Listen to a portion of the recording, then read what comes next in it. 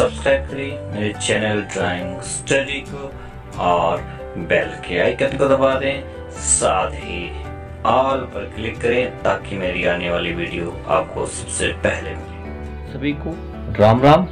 आज हम tenth class में स्केल नंबर 18 की कागज़ बांट करेंगे। तो इसके लिए हमें चाहिए लेंथ ब्रेथ और हाइट तो मैं आपको बता देता हूँ, इसकी लेंथ है पचासी सेंटीमीटर ब्रेथ है सैंतालीस। हाइट है एक सौ चौंसठ और लेंथ और ब्रेथ जोड़ के आ रहा है एक सौ बत्तीस और ब्रेथ और हाइट जोड़ के आ रही है दो सौ ग्यारह। तो हमारी जो स्केल बनेगी वो हाइट में बनेगी, इसलिए हम पेज को हाइट की तरफ़ घुमा देते हैं। इस तरह से हम घुमाएँगे और अब हम यहाँ से काटेंगे 132 और इसमें जो हमारा फुट आएगा, वो आएगा एक पॉइंट दस सेंटीमीटर का। ये आप देख सकते हैं और हमने यहाँ से 100 ये आप देख देख सकते हैं यहाँ पे।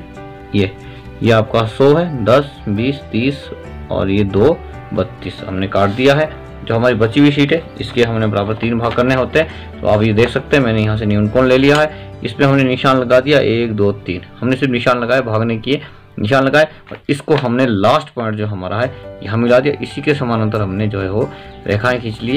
एक, दो, तीन, चार, तीनों पॉइंट से। और हम देख सकते हैं कि क्या ये हमारे बराबर भाग बने तो इसके लिए मैं प्रकार खोल देता हूँ यहाँ पे।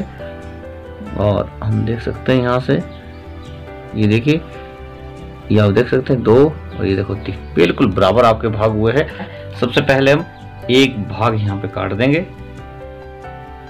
इस तरह से। अब एक भाग काटने के बाद हमने काटनी है इसकी लेंथ, और लेंथ इसकी है पचासी सेंटीमीटर।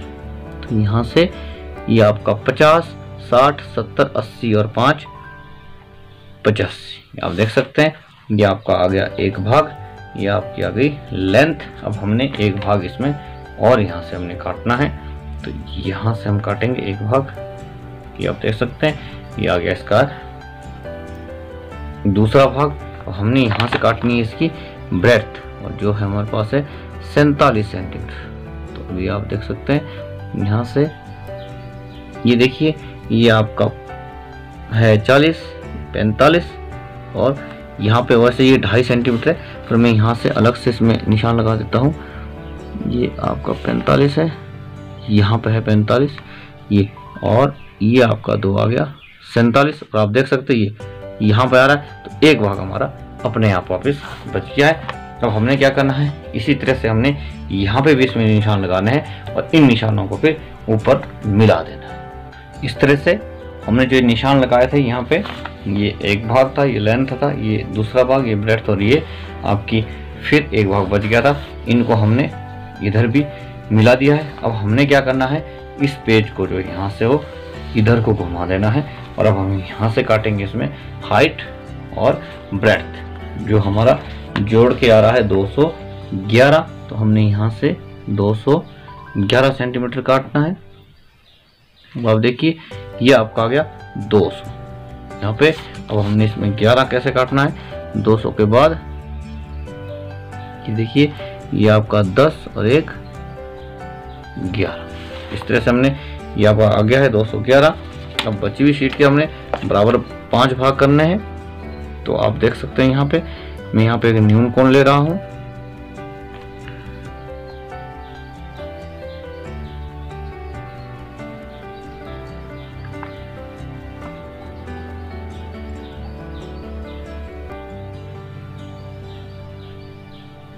तरह से अब हमने इसमें बराबर पाँच निशान लगाने हैं। इस रेखा पे यहाँ से बराबर पाँच निशान लगा देंगे।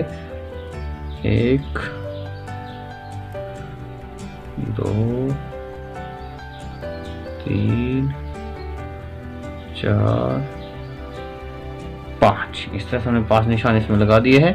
अब हमने, हम इसमें नाम लिख सकते हैं। एक, दो, तीन चार, पाँच और जो पांचवा लास्ट है, उसको हम यहाँ लास्ट के साथ है। मिला देंगे। इस तरह से हम इसको यहाँ मिला देंगे। इसी के समानांतर हम रेखा खींचेंगे चार से। इस तरह से। अब हम खींचेंगे रेखा तीन से।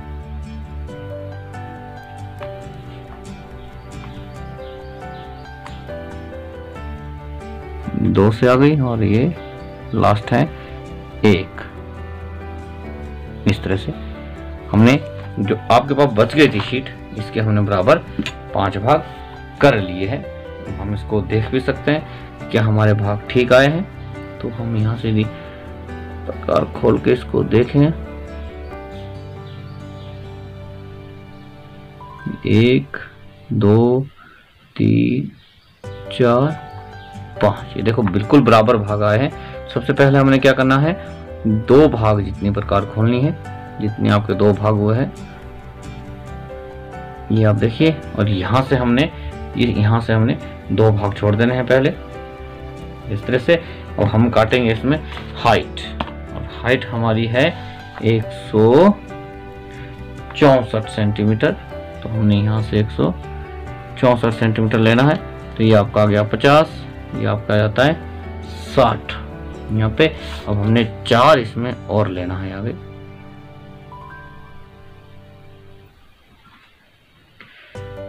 ये आपका आ गया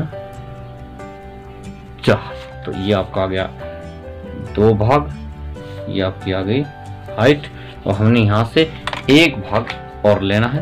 तो एक भाग जितना हमारा है, इतनी प्रकार खोलेंगे हम।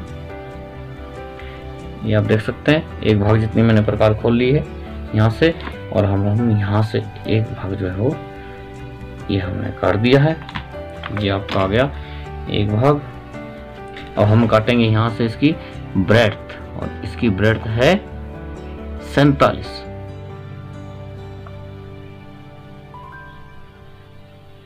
ये आप देखिए, ये आपका चालीस, पैंतालीस, सैतालीस। ये देखिए ये पूरी पूरी आ गई है और दो भाग मेरे वापस यहाँ पे हमारे बच गए हैं। अब इसी तरह से हम यहाँ पे भी इसमें निशान लगा देंगे और इन निशानों को हम फिर आपस में मिला देंगे इस तरह से जितने भी हमारे निशान लगे थे, वो हमने मिला दिए हैं। और जो हमारे पास इस तरह से ये एक्चुअल में ये हाइट में हमारी स्केल रहनी है तो जो हमारी ये फालतू लाइनें हैं, इन लाइनों को हम यहाँ से हटा देंगे और फिर इसमें यहाँ पे लिख देंगे एलिवेशन साइज़ और यहाँ पे हम लिखेंगे प्लान और यहाँ लिखेंगे प्रोजेक्शन और यहाँ इसकी हम हाइट लिख देंगे, यहाँ हम इसकी ब्रेथ लिख देंगे, और यहाँ हम इसकी लेंथ लिख देंगे।